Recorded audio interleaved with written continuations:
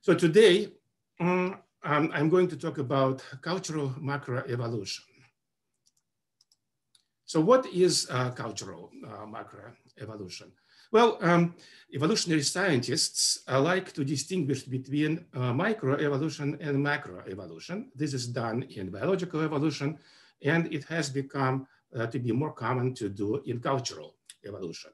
So cultural microevolution can be defined as the change in the frequency of cultural variants within a population. So this is the definition from Cavalli, Sforza, and Feldman, one of the foundational books, and I think it still serves quite well. But uh, cultural macroevolution focuses on large scale changes in cultural traits of whole groups. So as far as I know, this was the first proposed by Niles Eldredge, who is of course a biological evolutionist, and Alex Mesoudi, um, our, our, own Alex Mesoudi has also um, uh, proposed this definition. So I will be focusing on large scale change, changes in cultural traits of whole groups. Uh, one word about the connection between micro and macro evolution. In uh, biological evolution, uh, group level traits reduce directly to individual traits. So that seems to be pretty much uh, the dogma today.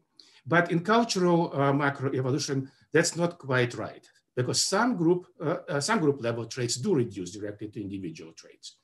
But others are emergent properties of whole groups and are not reducible to individuals.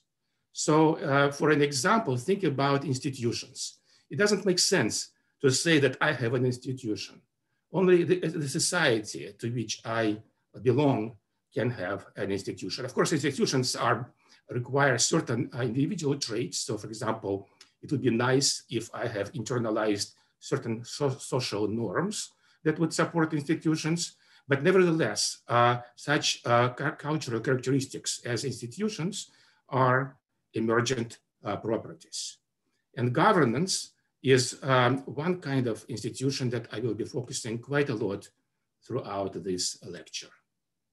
So let's um, uh, th think back about the evolutionary history of our species. Uh, we probably originated, roughly speaking, 200,000 years ago.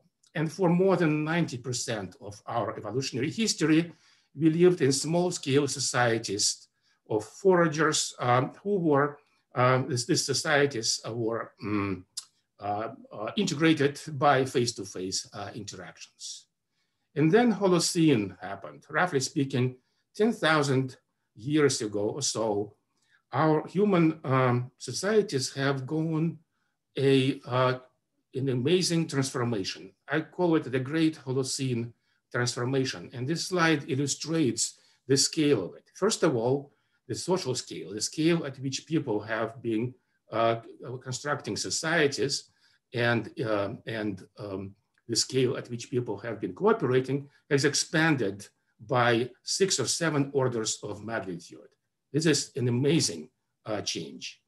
But also the governance institutions have changed from farming villages uh, where uh, people, uh, most uh, people lived, uh, well, most agricultural people, let's say, lived 10,000 years ago. First um, arose centralized societies and then later states. So this all happened extremely rapidly. And um, this is not just an observation, it's not just an empirical observation, it also is a puzzle. It's an evolutionary puzzle. So what were the evolutionary mechanisms that we can use to explain the great uh, Holocene transformation? Well, um, we can, um, again, because my background is in uh, biology, it, um, I, I uh, try to fit what we do in cultural evolution with more general evolutionary uh, science.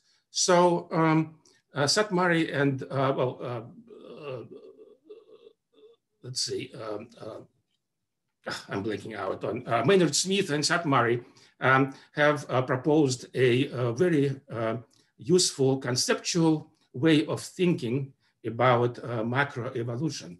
They call it major evolutionary transitions.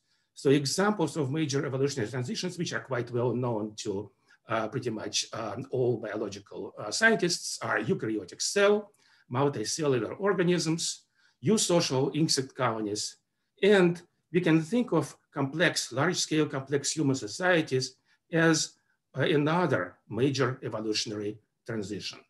I think that's a very useful conceptual approach to thinking about this uh, major puzzle that I have introduced in the previous slide. And um, Smith and Szathmáry have, um, uh, and uh, others who have followed in their footsteps, they have uh, proposed a general evolutionary mechanism. It's a very abstract, actually. It's so abstract that it fits both eukaryotic cell and also, I would say, I would argue, complex human societies.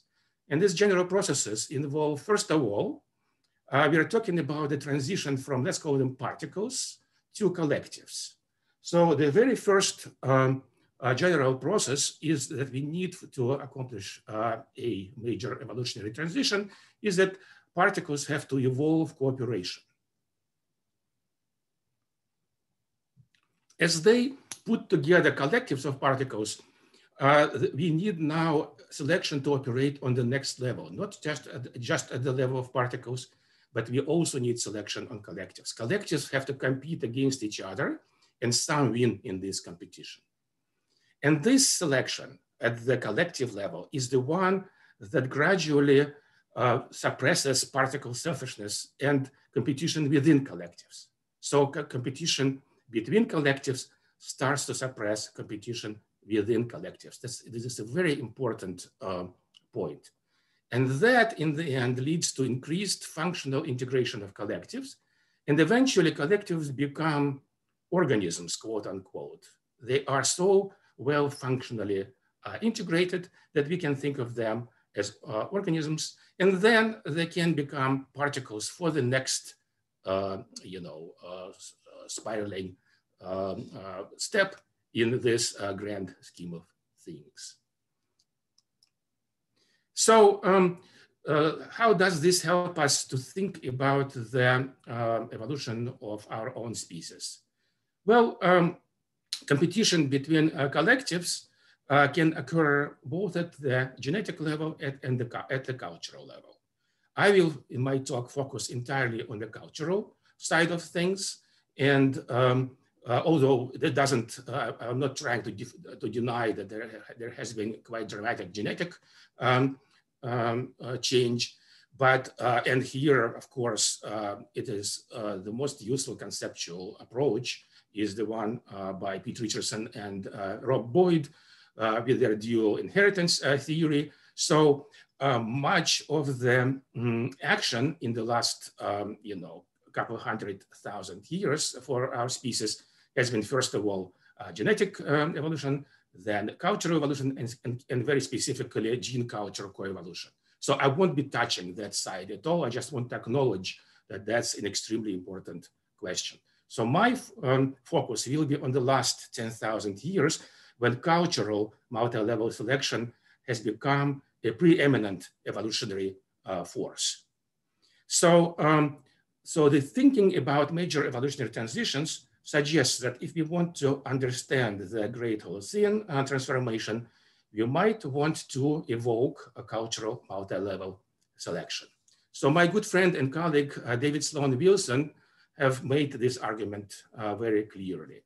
He says that to understand the evolution of collective level cultural traits, we need to study selection on collectives.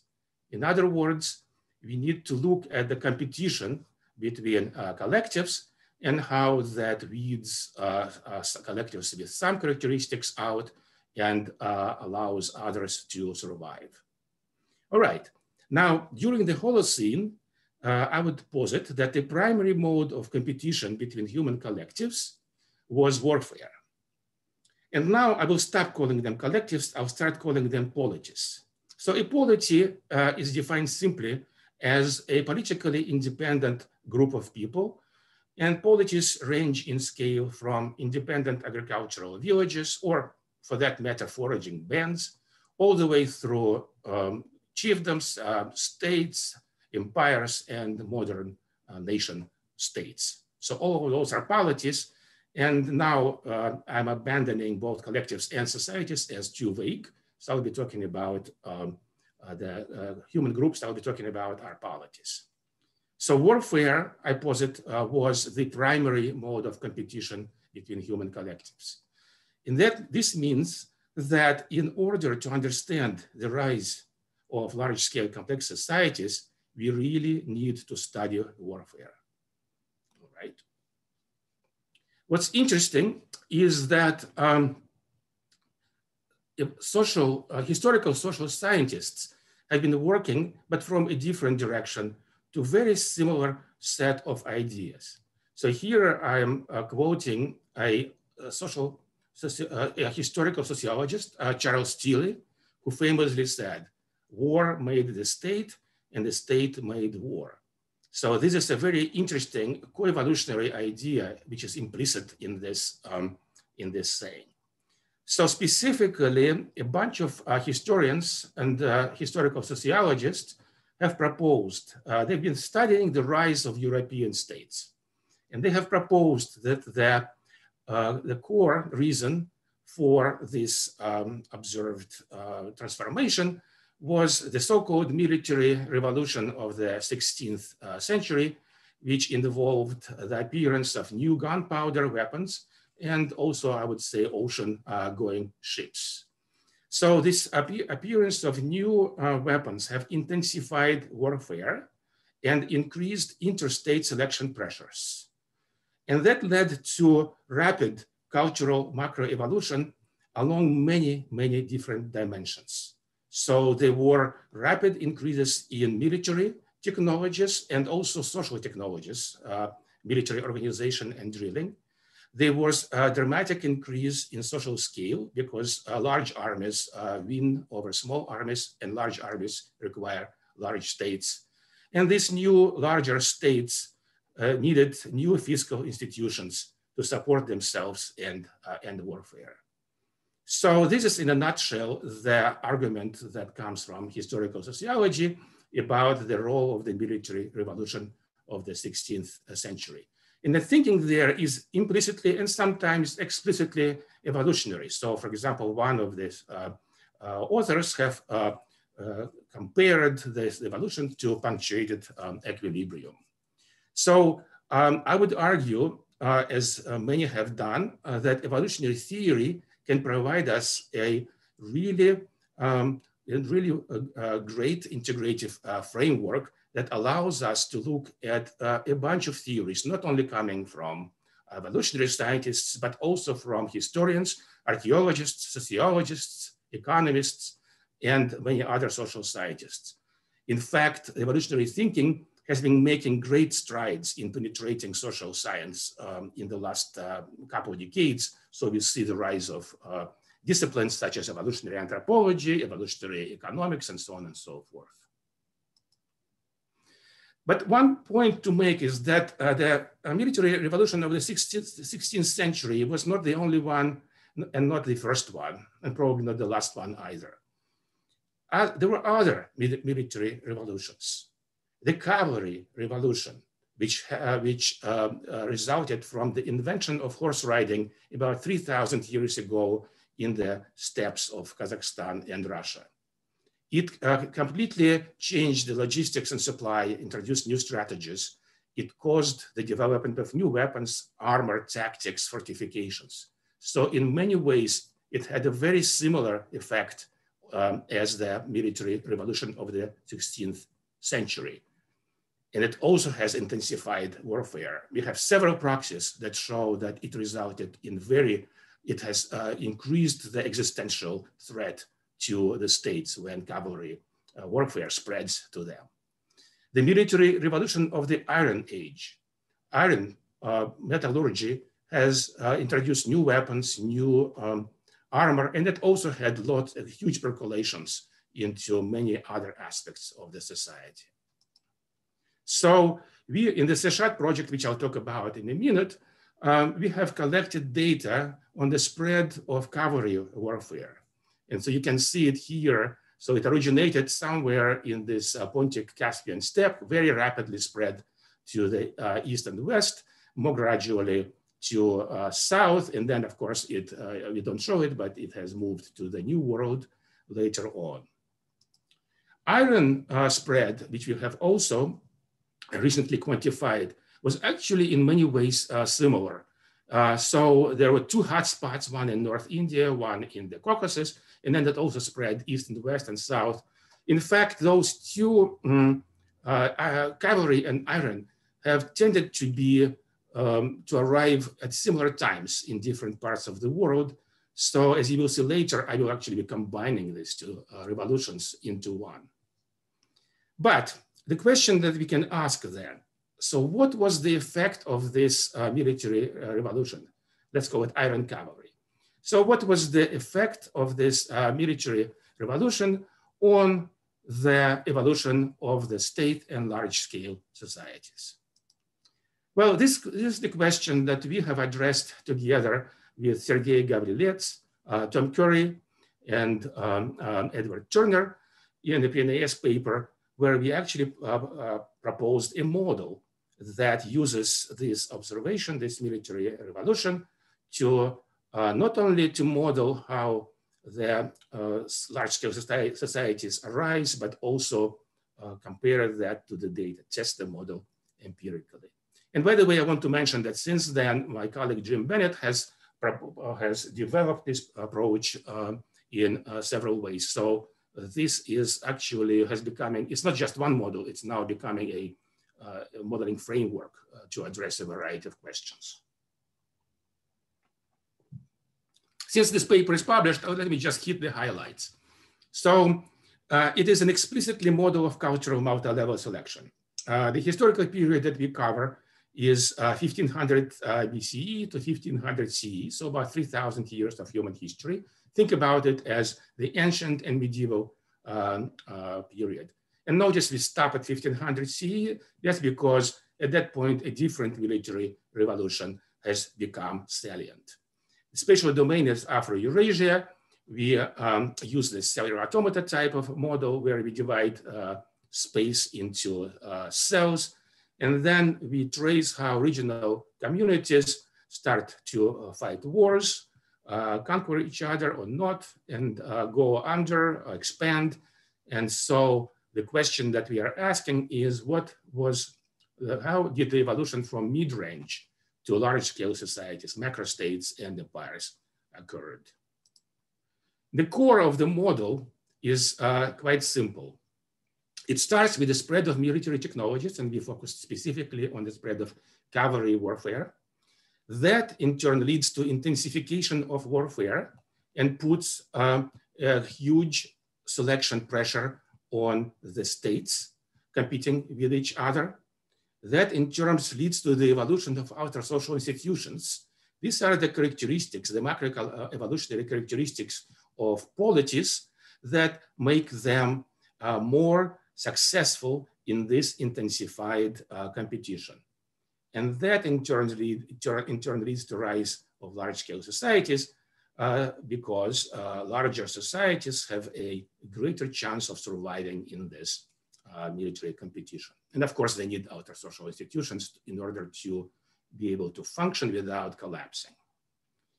All right, so jumping through all the details, our model actually did an, an amazingly uh, great job uh, predicting the actual spread of large-scale societies. So on the left-hand side, you see the data. This is the data for each of the three millennia, which, um, and the red color in, indicates the um, high frequency of large-scale societies, and green color indicates uh, no such great uh, large-scale societies arising in those regions and yellow is in, in between. And on the right-hand side, you see the simulated data. And of course, the simulated data does not um, reproduce all the aspects of um, the um, real data, but uh, we do capture a remarkable nearly two-thirds uh, uh, two-thirds of uh, variance in the data. So, so far so good. Um, the model um, does seem to capture something important. The model based on cultural multi-level selection and capitalizing on this particular uh, military revolution does seem to capture something important about the actual historical uh, process. But there are many other theories. There are functionalist uh, theories of the states, there are conflict theories of the state, and our theory, in fact, belongs to uh, one subdivision on, of uh, conflict theories. I won't go through this list because it's just, I'm just scratching, I'm really scratching the uh, surface here. Uh, there are uh, hundreds and hundreds of uh, separate theories that people have produced over the ages, starting with Aristotle, Ibn Khaldun, and ending with the modern historical social scientists. The big question is that, uh, yes, we have all those uh, great theories.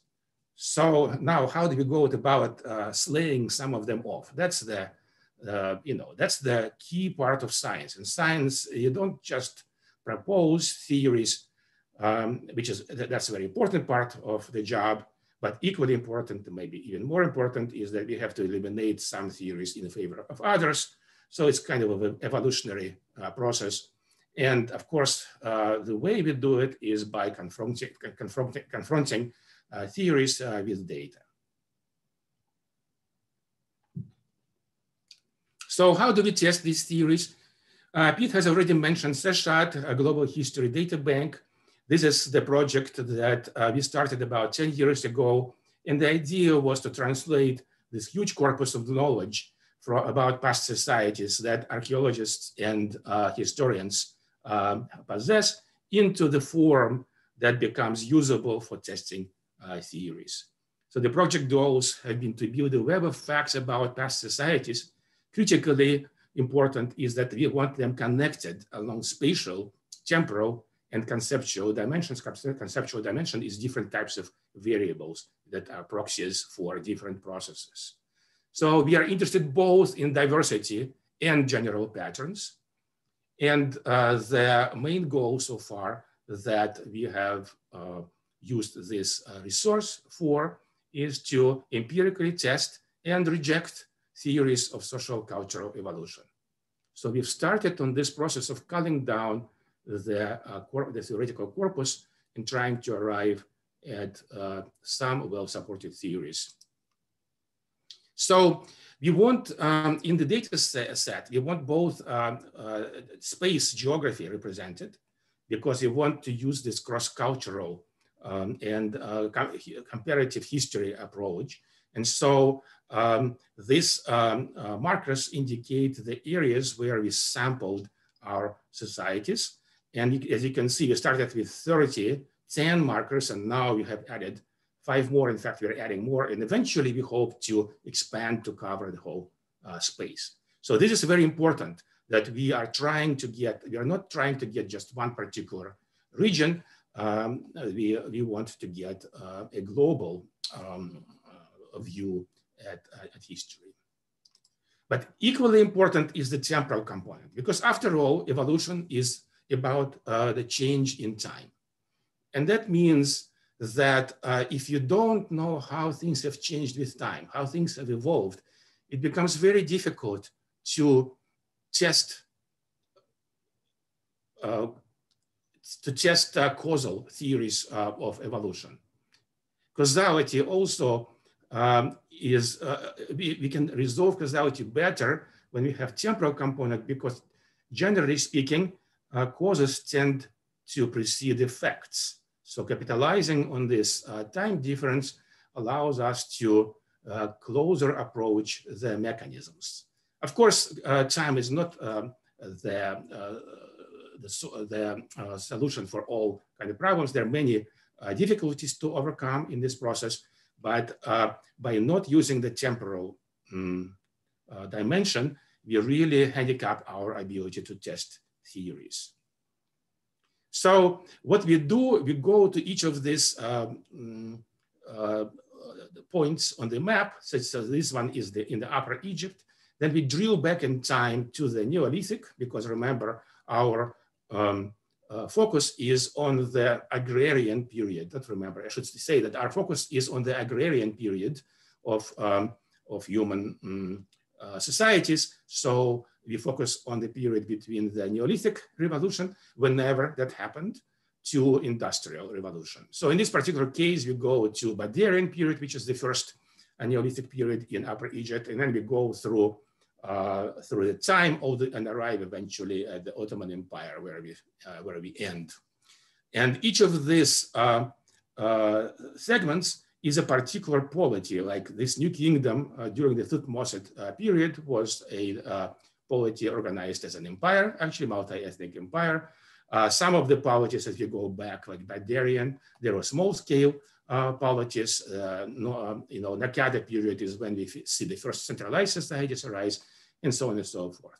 So the actual unit for which we collect data is each of these polities, right? And this one, this graph shows the distribution of times that we have. Obviously, as we go back in time, first of all, uh, Neolithic revolution happened at different times in different regions. And secondly, of course, we have less data uh, to, uh, to trace the uh, really deep uh, evolution in time. Okay, so then we, what we do for each of these polities, we collect uh, a variety of data. And currently we have um, around 500 uh, re reasonably well reserved uh, variables. And the code book actually contains 1500 um, such variables ready for, um, for data collection. So since my focus is on the rise of the state, I will use one particular definition I like and also what uh, archaeologists prefer. They, um, they define state as uh, societies that have internally specialized uh, governance. In other words, bureaucracies. So how do we quantify this, um, this state, stateness? Obviously, it was not just, you cannot really say it is a state or not a state. There were all kinds of uh, transitionary phases in between. And so we do that by breaking the stateness into a variety. Here, uh, there are 11 uh, binary variables that we code uh, separately first, and then we combine them for the analysis. So these binary variables are other full-time professionals, um, you know, in administration and in the military, um, in uh, religion, other specialized government uh, buildings, what are the bureaucracy characteristics, uh, like, uh, for example, the examination system illustrated here. Um, is there a formal legal code, uh, like the Corpus Juris Civilis Romani? other uh, specialized buildings for legal system, courts, professional judges, and so on and so forth.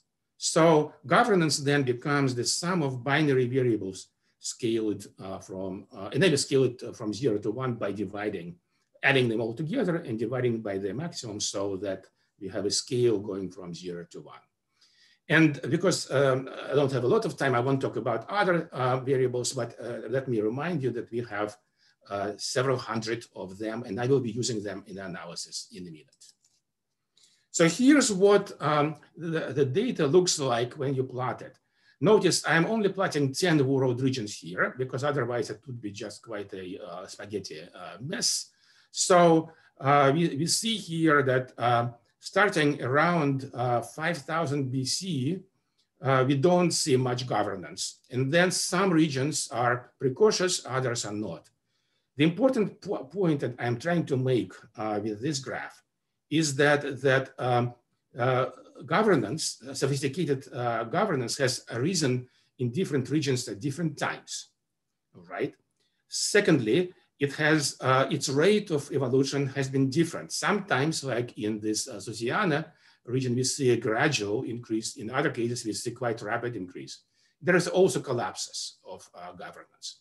So what we see here, we see a very rich data set, a rich spatial temporal data set that, uh, that gives us a lot of variation to capitalize upon. And that's very important because in order to statistically test uh, theories, we need uh, uh a as variable uh, data set as possible, right? So this bodes well already um, uh, for the success of the enterprise.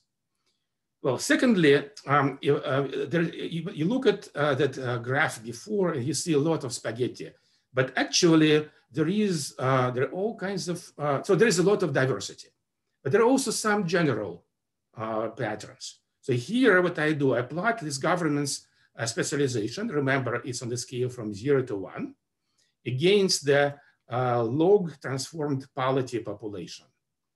And we see actually uh, that there is, of course, still quite a lot of um, um, uh, variation around this, but um, now uh, suddenly um, a, general, general pattern starts to snap in, into focus. notice that uh, there are two blobs. So this red color indicates the density of points. So their tendency is for societies to be either in the left uh, lower qu quadrant or in the right upper quadrant. And this transition is nonlinear. And we cross this 0.5 um, uh, boundary at, um, roughly speaking, 5.3 on this uh, scale. This corresponds to polities with uh, 200,000 um, um, uh, subjects.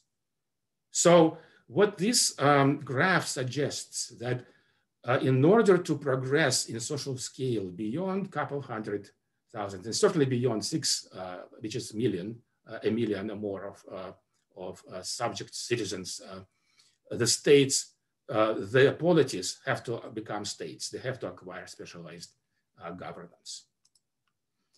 But we also can ask, so what was this governance used for? Because that actually helps us uh, think about uh, this sort of functional, uh, functionalist approach um, uh, helps us to start thinking about the different theories that uh, various uh, researchers have proposed for the evolution of the states. So here in this table, I show a variety of functions. Well, turns out that, and this probably comes as no surprise to historians or archaeologists, that uh, the most important thing that pre-industrial polities have done was either fighting wars or uh, preparing for them, gathering um, resources for them, um, uh, building fortifications, uh, and so on and so forth. So over 90% of polities in our Seshat sample, here is the N is the number of uh, polities for which we have um, uh, data. I excluded unknowns. Um, uh, in this uh, tabulation. So over 90% uh, actually made war, as Charles Tilly famously mentioned. Then we go back. So there is quite some of the um, uh, pro-social functions like providing uh, food storage or water supply is actually quite frequent also. Uh, infrastructure is also quite frequent. And then um, the informational connections, the, the couriers, postal stations, and so on, and of course, as, you, as the sophistication of the services increases, the proportion of polities that uh, perform it declines. But what's more in, even more interesting is to let's plot uh, the proportion of polities that uh, perform this particular function against their social scale. So uh, again, the social scale is scaled to be log 10 log, uh, log 10 transformed uh, of population of the polities. So five here corresponds to 100,000, uh, six is 1 million, and so on and so forth. So what we see is that with warfare, it's very rapidly, but pretty much all large scale policies do that. Uh, if you um, um, uh, uh, keep in mind that this is, there are few polities in this range here. So uh, there is quite a lot of variance here. But uh, once you get beyond, roughly speaking, 10,000 or 100,000, pretty much all the policies have to either uh, defend themselves or they are uh, uh, or they prey upon um, other societies. So um, with other things, so they come more gradually. So here are the food storage and the water supply. the infrastructure tends to come pretty much together with canals, trailing roads and bridges. But again, once you get to this, uh, to uh, statehood, uh, most of them start providing these things. And of course, here is the postal stations and, uh, and postal services. So uh, this is a very uh, useful look uh, telling, uh, telling us um, how the variety of functions performed by, this, by the states has changed as they have become larger. And uh, one um, uh, thing is that uh, one uh, conclusion that we can reach from this one is that um, the pre-modern states have provided lots of services, but the, the, the, the one which was nearly ubiquitous was um, uh, warfare. All right, but that's uh, so far we've been talking about correlation, right? And now it's time to use the time-resolved um, nature of Seshat to test theories about causality.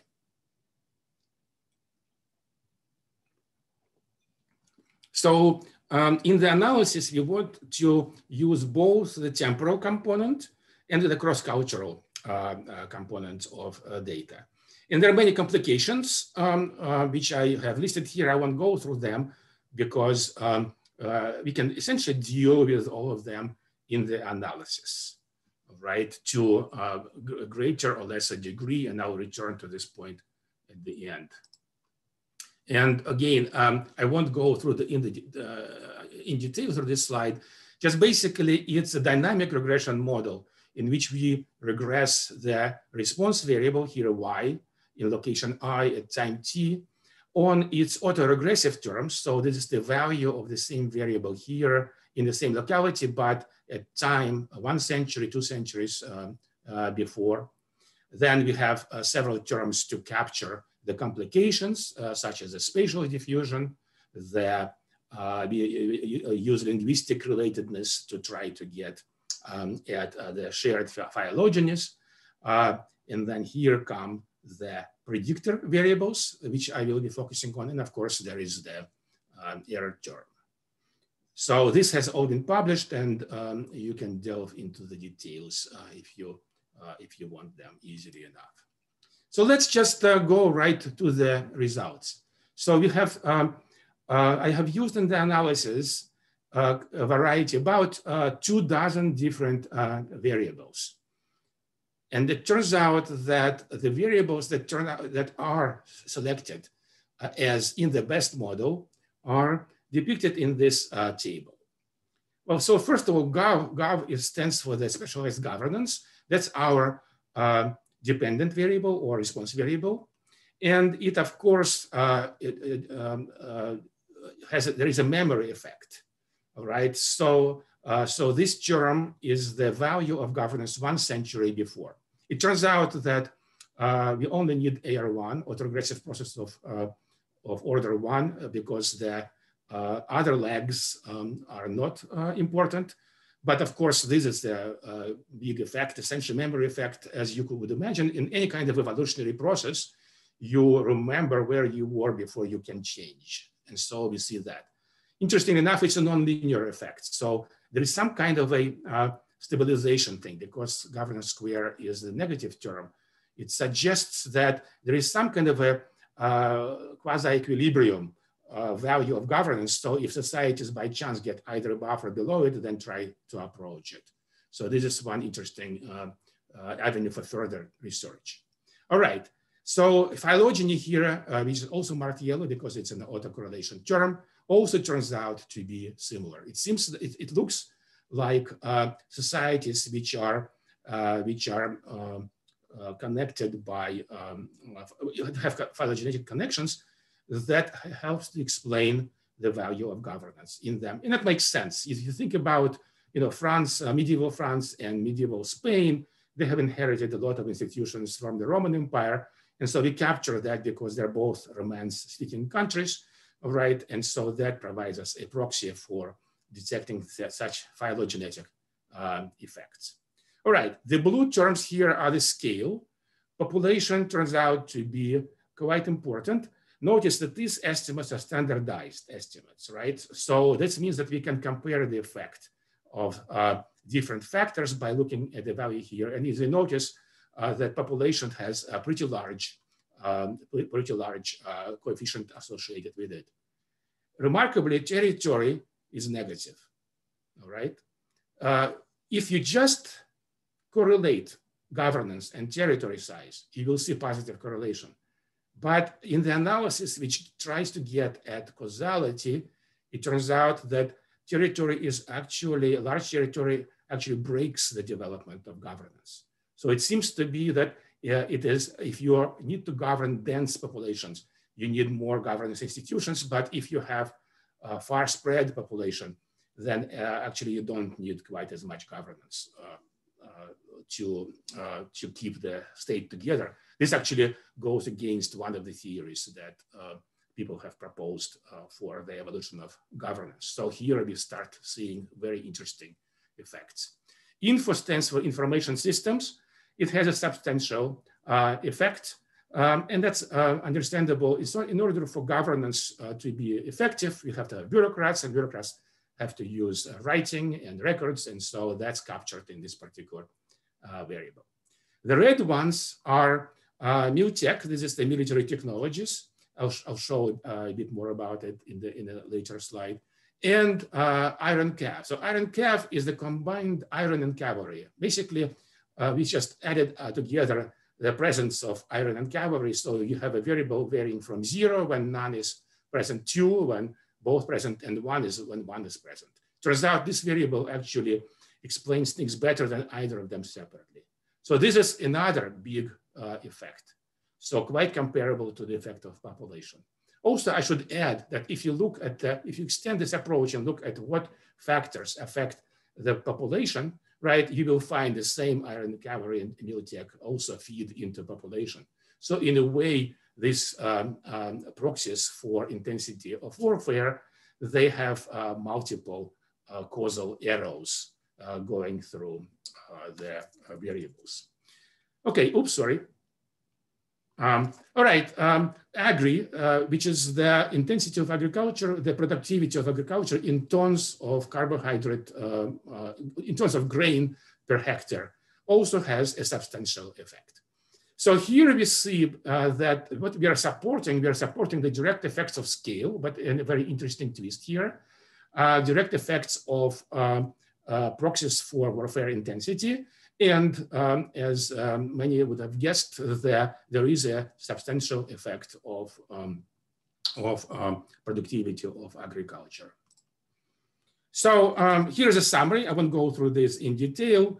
I just want uh, to say that um, warfare intensity uh, pro uh, proxies, the mu-tech is the variable which, which aggregates 46 binary variables uh, relating to different types of projectiles, uh, such as simple bows, complex bows, um, uh, crossbows, different types of weapons, swords, uh, you know, uh, daggers, armor, defensive structures, the use of metals, um, you know, bronze, um, iron, steel, and the kind of animals used in warfare.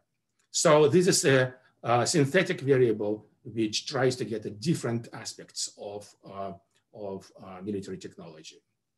All right. Um, so, uh, so social scale has an effect, non-scale complexity uh, is ch channeled through information systems and of course resources.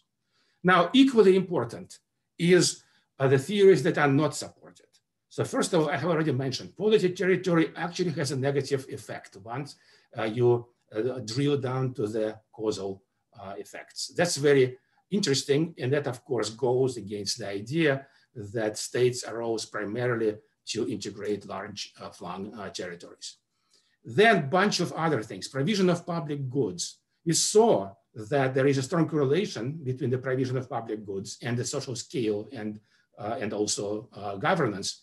But it turns out that provision of public goods, first of all, it comes later in the evolutionary process, and it is really the effect of, um, of large scale and governance. So this governance, uh, once you get the governance which is whose primarily um, uh, function is to fight wars and keep the large state together, uh, they start providing public goods um, uh, uh, for a variety of reasons.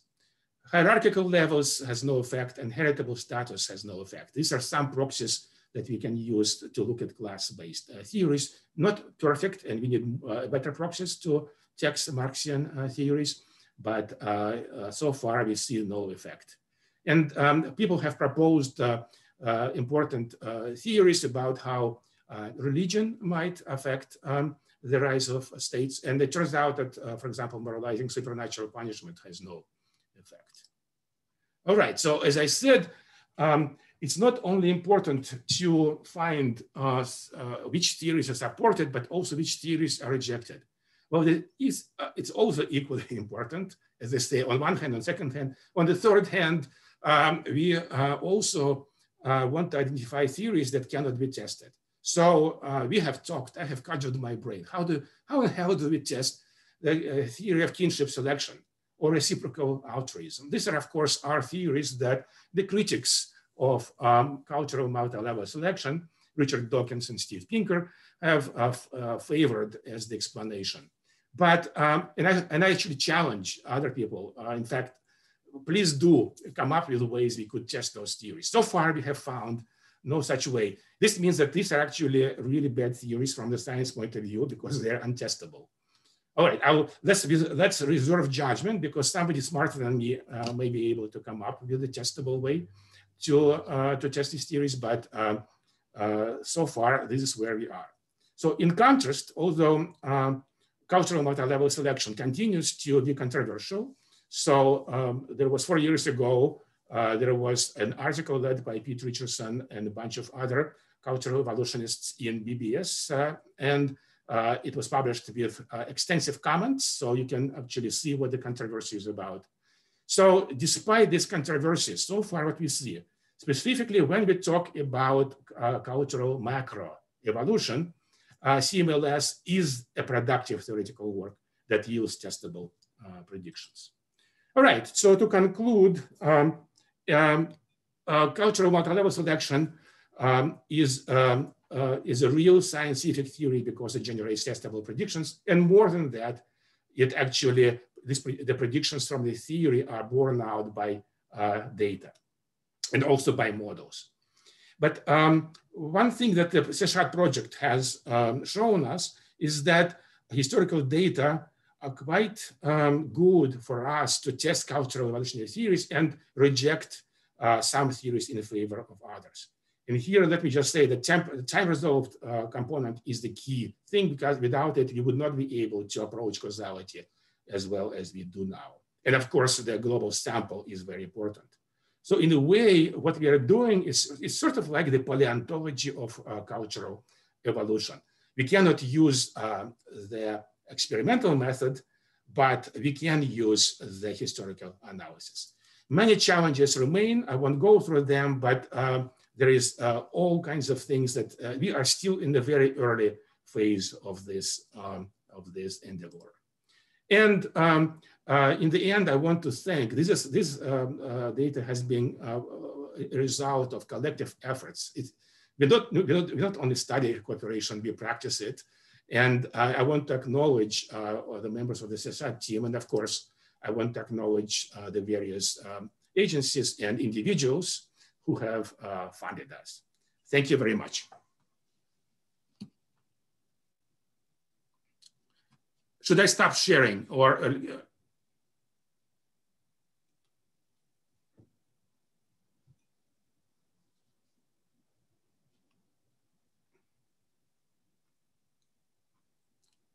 So I'm, I'm happy to take any questions. Sergey, you need to uh, un, un... Oh, sorry about that. Yeah. yeah. Okay. Yeah, we do, we do have a, a, number of questions here. Yeah, and thank you very much uh, for uh, your presentation. Very informative and very nice. Um, okay. Should I stop sharing? Uh, as you wish. Yeah, it's up to you yeah, maybe yes. Uh, yeah, yeah. you can go back and share if there will be a question you can go back. Yeah, please do stop. Yeah, yeah okay. so we can see we, we can see you better. Okay, um, the first one. Uh, thank you, Peter, for your presentation. You suggest that the primary mode of competition was war was warfare. I'm not so sure that other processes, such as disorganized occupation of territory for survival, uh, forced migration without fight, etc., played a major role. Warfare, of course, is uh, the one documented best. Uh, yeah. It's more so like... first of all, I would say um, that um, the role of uh, warfare has varied throughout um, our uh, um, evolutionary uh, history. So prior, during the Pleistocene, for example, um, most of the time humans lived uh, in very small groups and quite separated from each other. Like, you know, West uh, Europe, for example, had just a few hundred individuals in, in late Pleistocene. So it's um, unlikely that they fought uh, much because they actually uh, exchanged uh, you know, uh, genes and so on and so forth. Um, also now in the last uh, couple, well, since the uh, great, since World War II, there has been all kinds of hopeful developments and I'm really hopeful that we will, um, you know, finally control warfare, warfare. All right, and so it's quite likely that warf warfare is playing much less role. But during the period that uh, we are addressing, the agrarian period, um, as you saw, the data suggests that what polities did, they fought wars all the time. And remember, warfare is a nasty, uh, brutish uh, thing. what's important for cultural evolution is not that people get killed. What's important is that it's competition between societies, all right? And so this can happen without lethal um, uh, conflict. So for example, I grew up in the Soviet Union. It's a country which was never conquered by the United States, but it has acquired a bunch of institutions because it's essentially lost the, in competition uh, with the United States. So that's also multi-level uh, selection. Um, and uh, once we get to the historical period, uh, we are on very solid ground. Um, uh, that's what uh, polities did. They fought wars all the time. And final thought, um, in order for, um, you have to think about the, from the functionist point of view, what is the um, optimal size of a society? Well, uh, the scale of cooperation varies depending on what you're cooperating to do. So for example, if you want just to grow grain or something, uh, then um, you need to cooperate maybe at the level of household or village. All right, but um, uh, if you want to defend yourself against uh, predators, human predators, then um, you want to cooperate on a large scale as possible. There is a runaway um, evolution here. Each, each uh, uh, becomes larger right? So there is no actual, uh, there is no actual limit uh, for cooperation. And that's why uh, during the uh, agrarian period, we see this um, evolution of larger and larger states and empires. And by the way, since the, since competition, since military competition has become less important, we see uh, quite the reverse. we see, especially in the peaceful regions like Europe, for example, we see the breakdown of Czechoslovakia and so on and so forth. Mm-hmm. Okay, thanks. And um, uh, you were mostly talking about the last 10,000 years or so. And I think the next question is about earlier time. Was the basic early driver warfare or was it the struggle for survival in a harsh environment, which is also a form of competition between groups? Exactly. So here I am basically with uh, Pete um, and you and other people. I think that uh, the primary driver was um, uh, as you say in your models, it's uh, us competing against the uh, environment, not us versus them. For the reasons that probably there was some periods during the Pleistocene when uh, climate was uh, good enough for populations to build up, but probably then, in fact, we do see evidence of warfare. But my guess is that um, it was less important. It was really those groups who can could keep uh, the memory, the old people who had uh, you know, the knowledge to transmit to the next generation. Those are the groups who probably won in competition against the harsh environment. Mm -hmm. uh, thanks. Um, uh, the next one is, what's your view on the work of David Wengrow and David Graeber on social complexity? Ah, well, uh, that's a loaded question. I have uh, written a, um, blog post about this, which I'm, i was a bit harsh uh, on them. And of course, David Graeber, unfortunately, has passed away. So of the dead, no, nothing but good at this point. Um, so they are, the basic problem uh, with uh, them is that they are non-quantitative, and that allows them to make really ridiculous uh, statements. For example, they say monumental agriculture, monumental architecture was uh, present uh, in the Pleistocene, and they point to mammoth uh, huts. So um, I made a little bit fun of that in my blog post. So I just refer you to, I have a blog post on peterturchin.com. So search for Wengrow and you will um, you will see my opinion. I think somebody already posted a link uh, in, in, Okay, in thank you. Yeah. Okay, the next one is um, with governance. Uh, you start with all uh, all the societies as points on a 11 dimensional hypercube. It's not obvious to me that summing up the dimensions is the best way to collapse this into one dimension. Do the societies appear to fall on some small subset of the whole hypercube? Yes, this is a very good point. And in fact, this is one of the areas where I would be very happy uh, with people to expand our analytical approach. The data has been published. It's called Equinox 2020, and it has been uh, published in pretty finalized form in June of this year. Um, so um, you, um, uh, there is a link uh, to Seshat uh, um, Global History Data Bank, and I hope that somebody will uh, analyze it. But substantively, um, essentially, uh, they are correlated. Um, I have done, I looked at the, uh, how these binary uh, variables uh, change. Some of them depend on others. So for example, you cannot have um, merit promotion before you have bureaucrats, all right? So, um, so, the, the, so basically, I feel um, that our scale is not bad, but it's not perfect. And I would be very keen for others uh, to apply analytic methods, methods to the same data. Thanks. Uh, there is now a technical question, I guess. Is linear regression enough to explain the complexity of evolution in multiple systems and multiple scales? No. Um, and so, as I say, we um, I test um, uh, in analysis for uh, nonlinearities.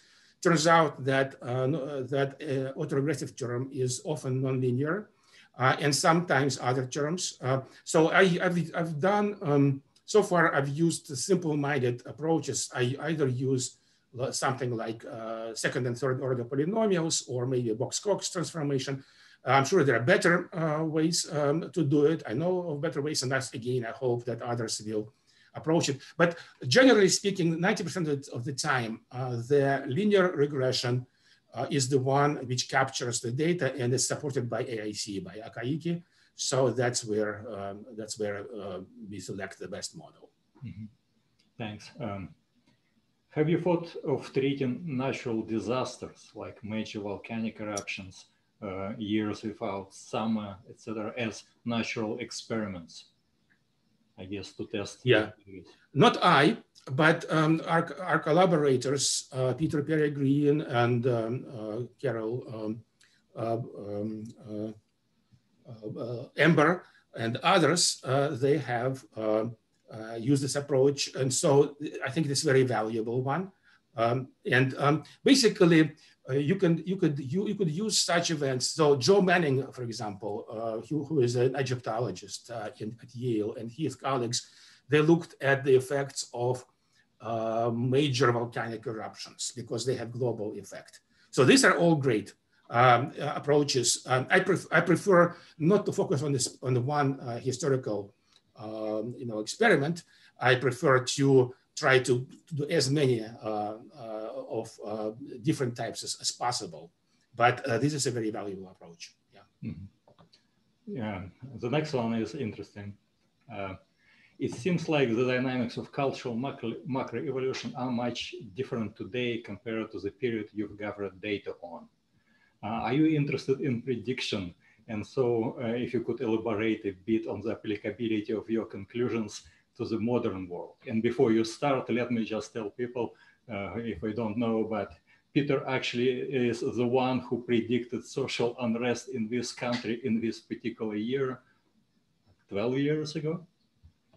Yeah, published uh, 10 years ago. Yeah, 10 years. Well, yeah, so um, things have been changing very dramatically. And so that's why um, we stop uh, at 1800 or so uh, because uh, we have we have plenty of work to do for pre-industrial period. But of course, uh, as a, a, cultural evolutionist, I, um, it has not stopped. In fact, it has only uh, run now runs faster, and the, um, uh, the different selection pressures um, are. It, one of the important selection pressures is the is the, on cultural traits that increase social resilience, the capacity of societies, of polities to withstand internal and external shocks. So we have a big proposal, we call it Crisis DB, where we are actually trying to, uh, to quantify social resilience and factors that either contribute to it or on the contrary, make societies more fragile. And uh, it's part of that uh, project is the one, uh, is the prediction I made 10, year, 10 years ago um, um, uh, for the United States. Uh, so work, uh, we, are, we are collecting uh, data and um, actually we'll be running a bunch of models too on this very interesting subject, which is interesting because obviously it's one thing to study collapsed societies in the past, you know, sitting uh, in front of a nice fire and drinking, you know, brandy or something. But it's the other to have a country collapsing around your ears. So um, uh, I'm, I'm quite um, I'm quite uh, motivated uh, to see what we can possibly do. Okay, yeah, the next one is, uh, thank you very much for the talk. Uh, considering the complexity of your causal relationships of interest, how did you come up with the correct uh, model specification? And then in, in parentheses, I was surprised uh, to not see any interaction effects. Mm.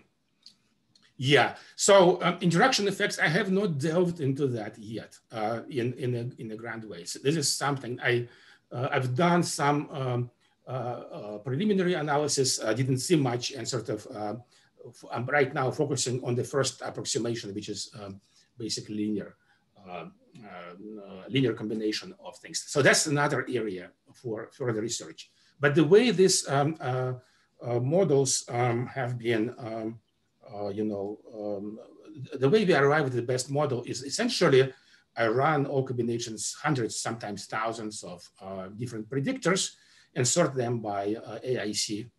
It's not uh, perfect, it's slightly liberal uh, because then uh, there's some, I don't know if people want me to go into statistical things.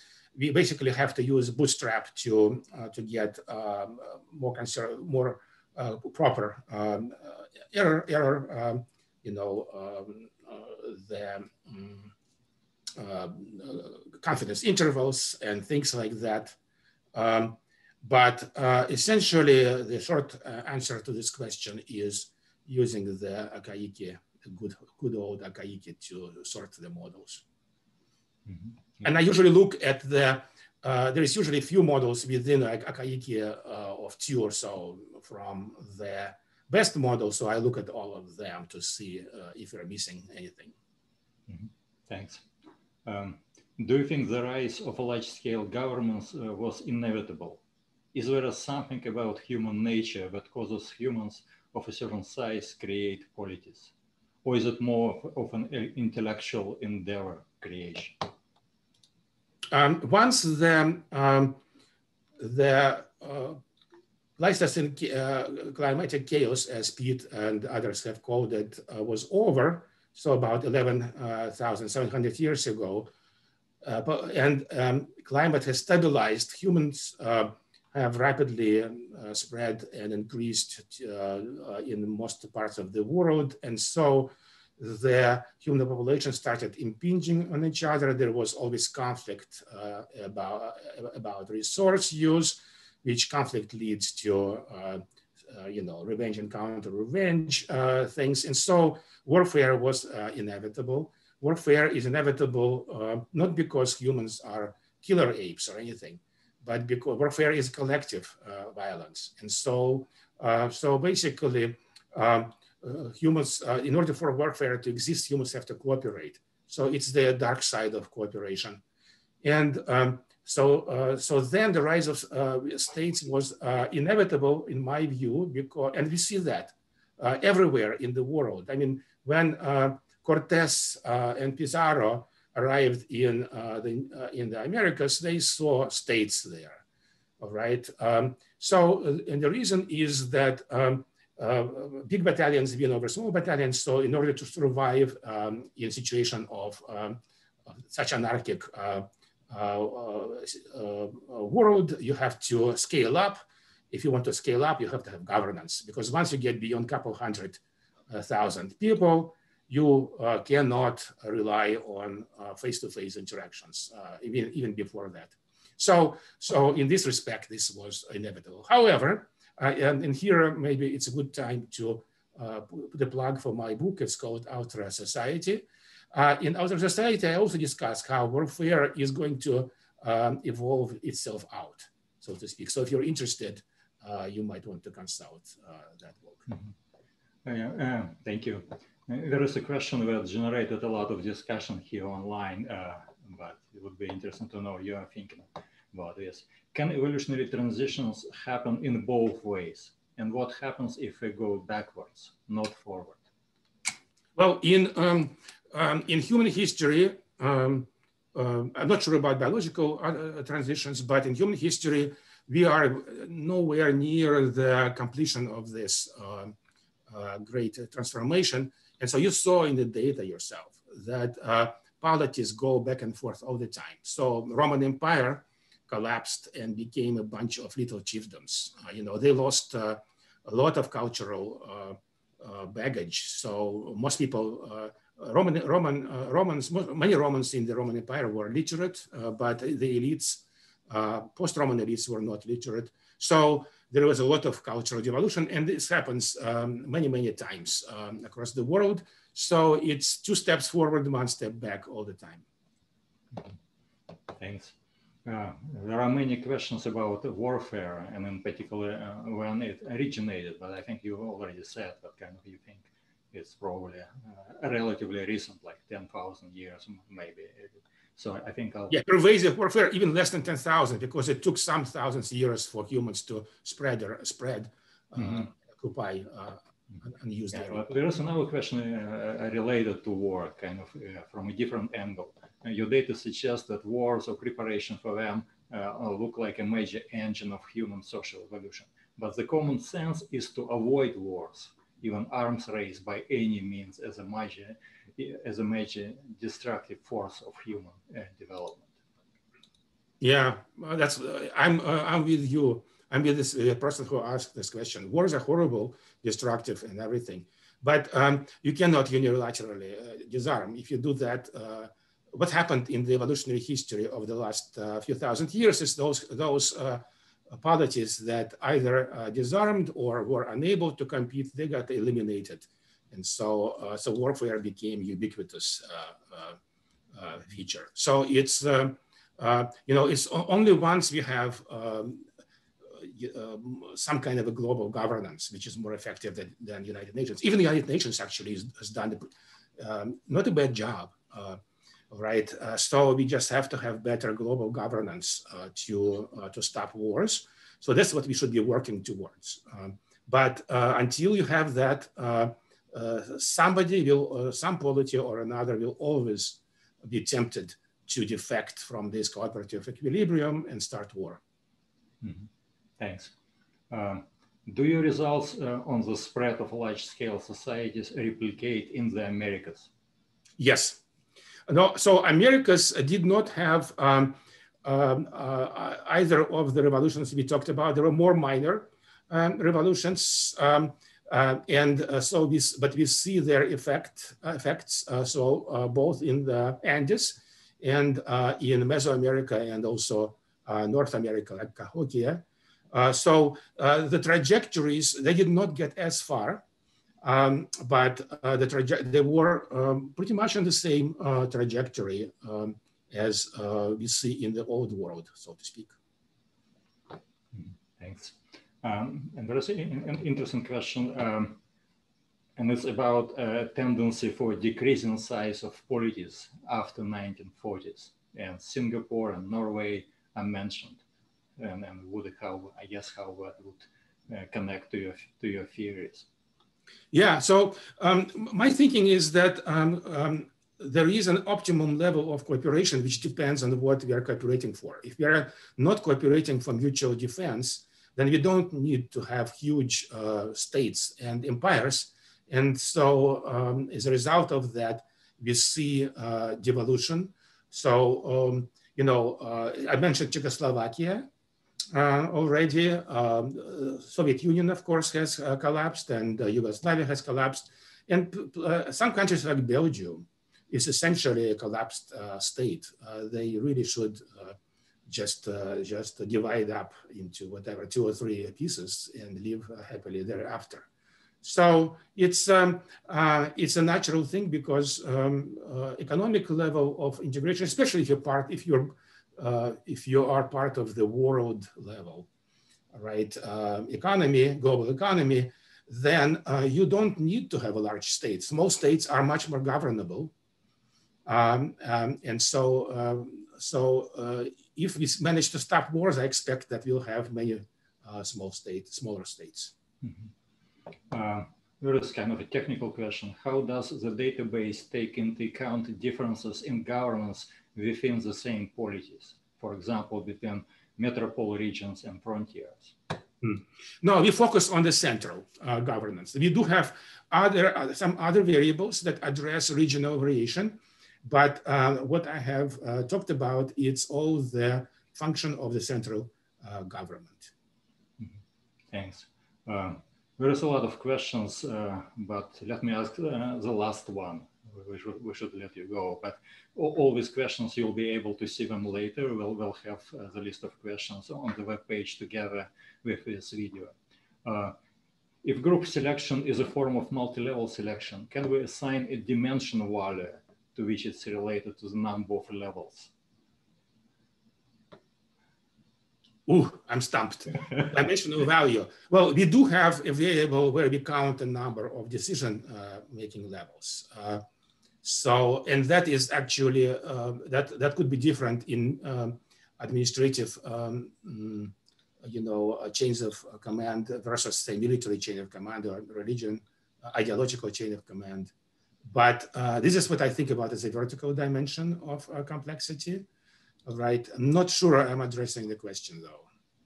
Oh, that's okay. Well, I guess we should stop now. Uh, there, are, there, are, still a, a, lot of questions, but we sh should let you go. Thank you very much. Thank you, uh, Peter, for the great talk and a great session. And we hope to see you next week when Ruth Mace uh, will be making a presentation. Thank you again. Thank you, Sergey. Thank you uh, for having me, and uh, thank you all for listening.